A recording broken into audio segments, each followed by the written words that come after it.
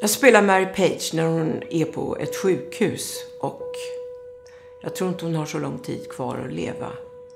Och hon sitter och funderar över sitt liv och berättar för en sjuksköterska om sina tre äktenskap och sin dotter. Och hon säger att hon är ganska nöjd med sitt liv. Men egentligen så vet jag inte om hon är det.